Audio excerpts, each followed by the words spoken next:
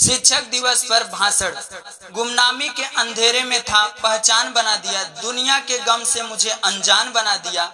उनकी ऐसी कृपा हुई मुझ पर। गुरु ने मुझे एक अच्छा इंसान बना दिया, एक अच्छा इंसान बना दिया।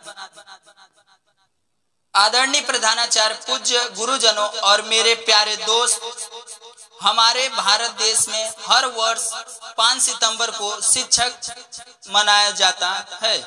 इस दिन भारत देश के पहले उपराष्ट्रपति और दूसरे राष्ट्रपति डॉक्टर सर्वपल्ली राधाकृष्णन का जन्म दिवस मनाया जाता है। वे महान, विद्वान, शिक्षाविद, लेखक और आदर्श थे।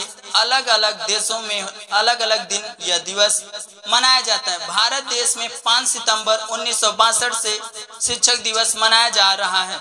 सभी शिक्षकों के बहुमूल्य कार्य का सम्मान देने के लिए शिक्षक दिवस मनाया जाता है। शिक्षक माता पिता से भी महान होते हैं। माता पिता हमें जन्म देकर हमारी परवरिश करते हैं। लेकिन शिक्षक हमारा व्यक्तित्व विकसित करते हैं। वे हमें अच्छा इंसान बनाते हैं।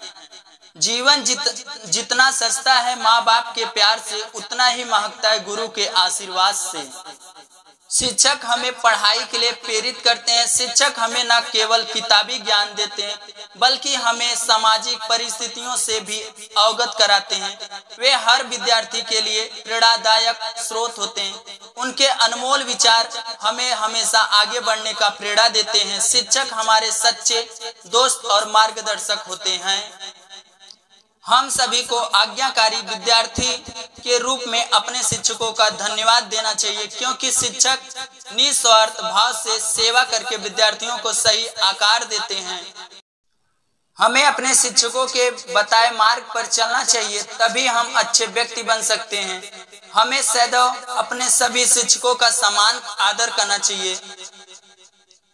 जिन्होंने हमें शिक्षा देकर ज़िंदगी जीना सिखा दिया, ऐसे गुरु को मैं प्रणाम करता हूँ। मैं, मेरे हर कामयाबी में है जिसका आशीर्वाद। ऐसे टीचर को मैं दिल से सलाम करता हूँ। Happy teacher day thank you all my friend